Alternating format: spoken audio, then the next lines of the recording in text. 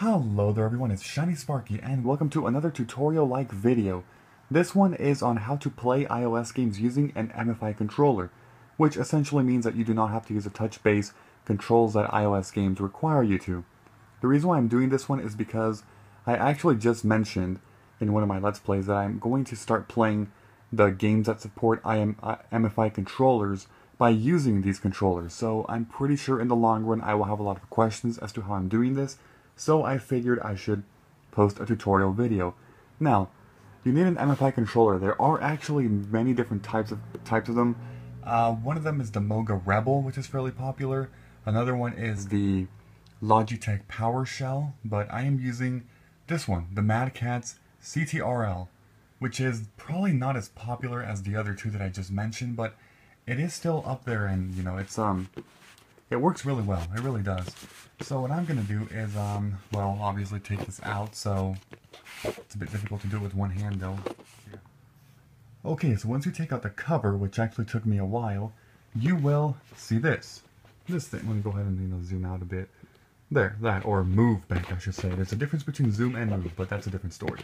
So, now let me go ahead and, um, well, throw that out there.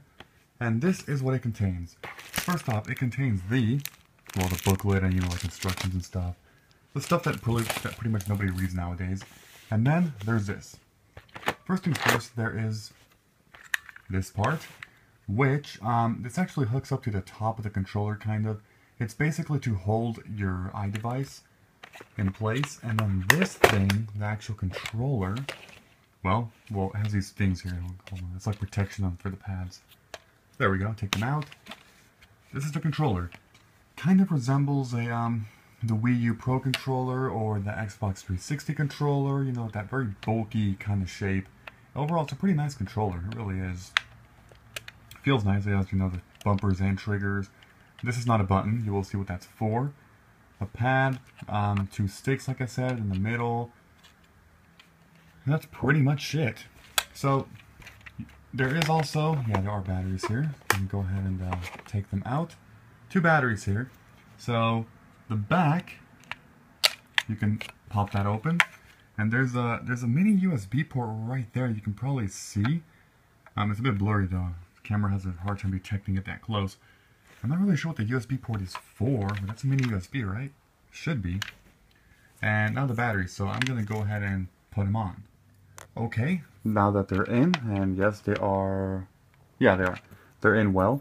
Now I'm going to go ahead and put this cover back on. So, sorry, it's always a bit difficult to do this while holding the camera with the other hand. Now, it's on. So, what can you do now? Well, it's pretty simple. What we have to do is actually press the, uh, which button is it? Wait, I'm trying to find it here. Is it, oh, it's at the, damn it. Oh, there it is this thing. You got to slide it to the right side, and that basically powers on the controller. It starts to light up. Yep, there we go. And now, now the next thing that you do is, no, you got to press this one up here, sorry. Press this one for like three seconds, or maybe five seconds, and it lights up a bit more. That means that you turned on the Bluetooth because this, this does work with Bluetooth. What you want to do next is then get your iDevice. This is an iPod Touch 5th generation. It's compatible with it. So, what you want to do is then go to, well, you know, the settings, and uh, go to, let me see if I remember this, where is it? Well, Bluetooth right here. And then enable Bluetooth. Simply tap it on. Then it will appear, as you can see, sorry it's blurry, I'm trying oh there we go. It adjusted. Mobile phone, and Mad Catz CTRL. Go ahead and tap the top one. Once you do that, after a little bit of time, don't worry, it will eventually link up. Or maybe I have to press it again on the controller. I probably should. Oh, no, there we go. It worked. Connection unsuccessful. Oh, yeah, I need a... Hold on. Nor. Okay, now it says connected, though. That's a bit, that's a bit strange. Maybe it was unsuccessful at first, and but now it does work. Yeah, here it is. It says player one now. Um, you can use four controllers up to the same device if it's if you're playing a multiplayer game. But there it is.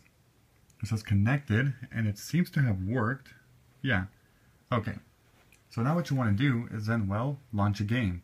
A game that's compatible. I, I currently have one. Sadly, the World of Magic is not compatible with MFI controllers. I wish it was. I really wish it was. But I'm going to go ahead and tap on Oceanhorn because this is a game that's uh, compatible. I'm going to go ahead and play or place the thing right there and the controller right here. Look at this. Move down and as you can see, things are popping up. Now I'm going to go ahead and press, I'm pretty sure it's going to be the A button to advance. There we go. And it's going to work. Okay, if it's a bit blurry, I'm going to try to focus it on the game, but, oh man, alright. As you can see, it works perfectly. Controls are much better than touchpads because you have the option of doing whatever you want. Every button pretty much does something different. Like, for example, what the hell? Why? No, not that one. That one attacks, the X button. So does that one. The B, I don't have the other options like equipment on this game, but yeah. Um, pause brings up this menu. You can obviously scroll through everything. Let me go ahead and zoom in now. I will zoomed out so I can show you that, you know, it's working, the controls. But yeah, it's a compatible game. So it works. Now, there is one other thing that you can do. Let me go ahead and show you. Okay, the next thing you can do is actually take out the top. This part right up here, you can actually turn it this way, so it will get unscrewed. Yeah, the game's still in the background if you hear the music. It gets unscrewed. Let me just go ahead and set it down. It's a lot easier like this. And this basically reveals a thing right there. So what is this for? This other object, um, you simply want to grab it. Let me go ahead and move this device over here. You simply want to place it like that. It's kind of difficult, but line it up like this. Okay, there it is. Sorry about all these cuts. Again, it's just because I have to use two hands to do many of these things. But there it is. Now it's screwed, and this will not come off. Next thing you can do is then place your device on it. So, you can simply grab it like this, and then you want to pull the top of it. Let's see if I can do this with one hand. Yes, I can. There we go. Now it's in place. So you can basically move around everywhere. See what I'm doing? And I can play. Obviously it looks a bit awkward because I'm only playing with one hand, but you get the idea. It works perfectly. Now, as far as one other thing I can do is, well, let me go ahead and show you. Okay, this next part is pretty amazing, actually. Pretty amazing. What you need is this thing, which I have already talked about in the past. It's the lightning to, di to digital AV adapter.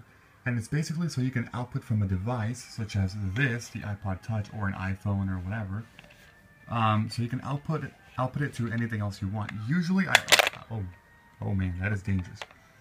Usually, um, I output it to a capture card, but take a look at this. If I put the device, I'm going to go ahead and flip it. It's easier this way. If I place the device there, and then I get this thing, and connect it. Alright, there it is. And then I get an HDMI cable. I will show you the other end of this port. Okay, there it is. iPod Touch with the adapter on it with an HDMI cable output. So, this cable actually goes towards the back of the Elgato, and if you're wondering what is what this is, I have another video on how I record these things using this capture this capture card. How I record iPod Touch, iPhone, or iPad. Then it's outputting from the Elgato into this TV right here. And there it is, the entire screen. So let me go ahead and zoom out. Over here is the recording side of this device. And over here, it's on the TV. The reason why I can't play off of this screen is because there's lag, but this one is lag free. Now, if I get the controller right over here, and because this screen is too small, I can simply use the TV and basically move around with no lag, as you can see. Everywhere I move, character moves right away.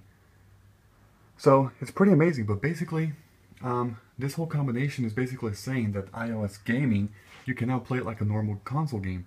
You have a controller and you go all the way to the TV and you play off the TV. It's a pretty amazing thing. Oh, they were finally focused. It was a bit blurry, the TV there. Yeah.